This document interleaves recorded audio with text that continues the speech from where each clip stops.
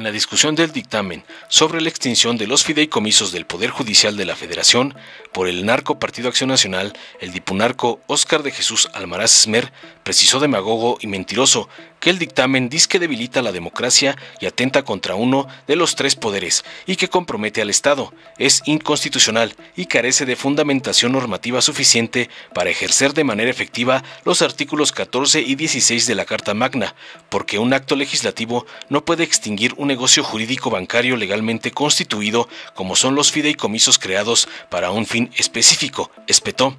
Destacó la falacia de que los 13 fondos y fideicomisos que se pretenden extinguir se han supuestamente constituido también con recursos de los trabajadores del Poder Judicial, no solo con recursos públicos que derivan de asignaciones presupuestales.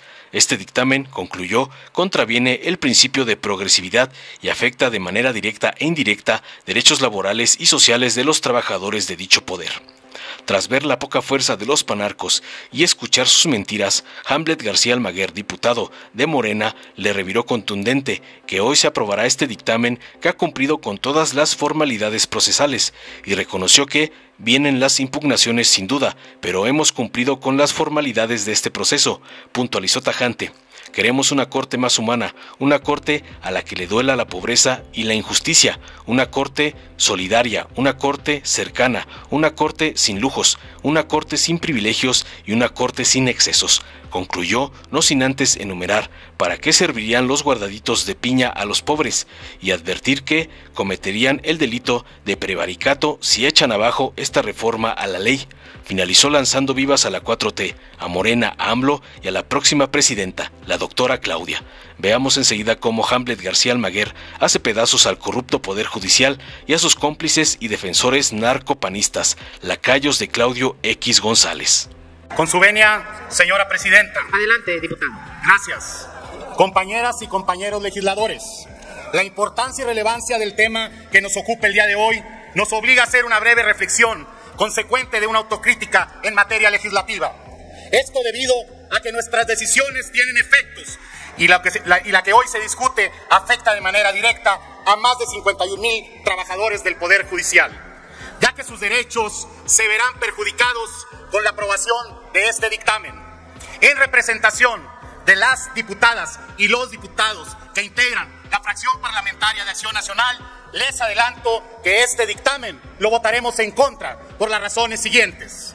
Se votará en contra este dictamen ya que debilita nuestra democracia y atenta contra uno de los tres poderes que comprometen el Estado.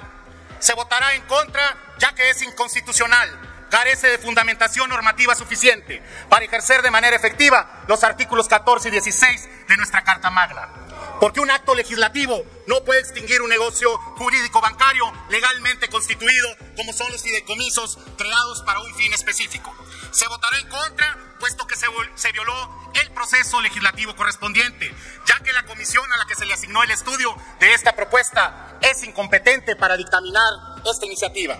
En ese sentido, se debió haber modificado el turno por no ser materia de su competencia. Además, la iniciativa que se discute reforma la ley orgánica del Poder Judicial de la Federación y sus artículos transitorios, siendo competencia de la Comisión de Justicia. Y en su caso, al conocer las afectaciones a derechos laborales, le correspondería a la Comisión de Trabajo y Prevención Social. Cabe señalar que los 13 fondos y fideicomisos que se pretenden extinguir se han constituido también con recursos de los trabajadores del Poder Judicial no solo con recursos públicos que derivan en asignaciones presupuestales. Se votará en contra de este decreto ya que contraviene el principio de progresividad y afecta de manera directa e indirecta los derechos laborales, sociales de todos los trabajadores del Poder Judicial se votará en contra de este dictamen, ya que es contradictorio a lo establecido en el artículo 9 y 12 de la Ley de Presupuesto y Responsabilidad Hacendaria, que faculta la creación de estos instrumentos jurídicos a los poderes legislativo, judicial y entes autónomos. Asimismo, fundamentar el dictamen exclusivamente en las observaciones de la Auditoría Superior de la Federación y Gestión de Recursos Públicos no resulta suficiente, que no establece de manera clara el destino de los recursos que actualmente tienen esos fondos y fideicomisos en caso de ser aprobado este decreto. Cabe mencionar lo que sí debe estudiar y en su caso prever la comisión dictaminadora es que el presupuesto de egresos para el 2024 sea suficiente y acorde a las recomendaciones internacionales para el Poder Judicial. El recorte presupuestal de más de 15 mil millones de pesos a este poder no tiene una justificación lógica ni democrática. Se sabe que la intención de ese tipo de acciones es asfixiar a un contrapeso, cuya encomienda es velar, guardar y hacer guardar la Constitución, con el único propósito de proteger los derechos humanos de todas y todos los mexicanos. Esto no es una acción de austeridad, es una acción de retroceso. No es para beneficiar a la gente, sino para afectar de manera directa a los ministros de la Corte, a los magistrados, a los jueces, porque ellos con sus resoluciones y sentencias han hecho justicia ante las acciones ilegales del gobierno actual. Pero no solo ellos son los trabajadores afectados, sino también los secretarios, proyectistas, actuales personal administrativo y auxiliares, que se verán afectados ellos con sus familias. Sabemos que en caso de ser aprobado será motivo de una gran cantidad de amparos y la promoción de mecanismos de defensa constitucional. Tenemos claro que el Poder Judicial es garante del cumplimiento de la legalidad y de los mandatos que emanan de nuestra ley suprema y que lamentablemente el Poder Legislativo, secuestrado por una mayoría oficialista, resuelve y votará bajo la orden política del Poder Ejecutivo. Promovamos en conjunto acciones que beneficien al Poder Judicial y reformamos nuestra ley para garantizar a todas y a todos para tener justicia. Tenemos esa deuda pendiente con México. Quitemos los colores y las capas partidistas. Promovamos acciones de calidad y no, y no iniciativas que solo perjudiquen y entreguen los intereses generales a beneficio de unos cuantos. ¿Es cuánto, diputada? Gracias, diputado Oscar de Jesús Almaraz Esmer. Con su autorización, Presidenta. Adelante, diputado Hamlet. Buenas noches al pueblo de México. Hoy votamos. Y hoy votamos para construir el segundo piso de la cuarta transformación. Hoy votamos para recuperar 15 mil millones de pesos para el pueblo de México. Justicia es dar a cada quien lo que le corresponde. Y hoy tenemos esta disyuntiva. ¿Le damos 15 mil millones de pesos a los jueces, magistrados y ministros para sus pensiones doradas?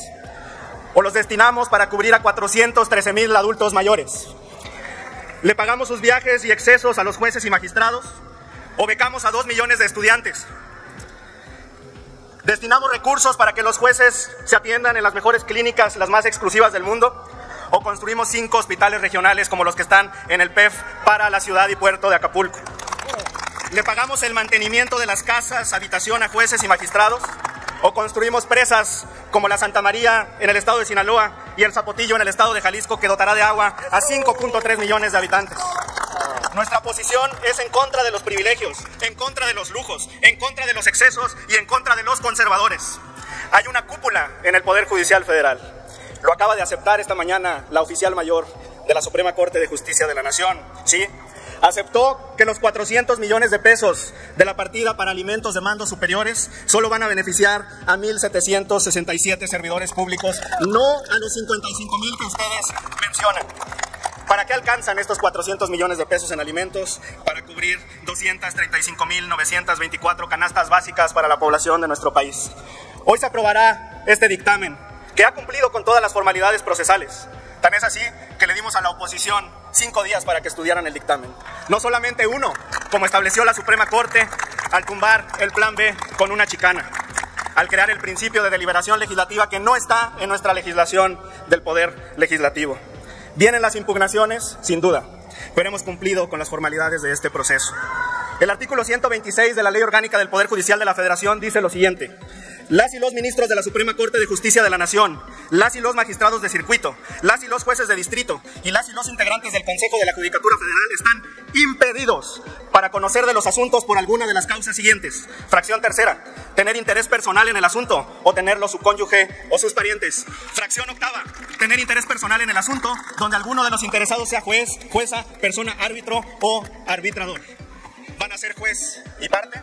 van a violar la ley orgánica del Poder Judicial Federal para determinar estos asuntos, cometerían los jueces, magistrados y ministros el delito de prevaricato.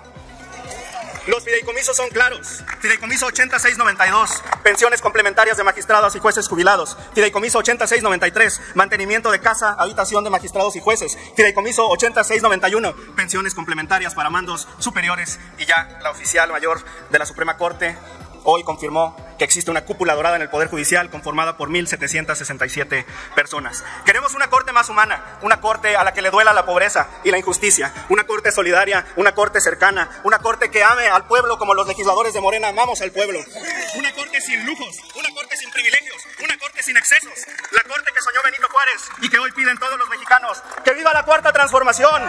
¡Que viva Morena! ¡Que viva Andrés Manuel López Obrador! ¡Y que viva Claudia Sheinbaum! Buenas noches. Dale en me gusta. Suscríbete, activa la campanita y compártelo para que más gente lo vea.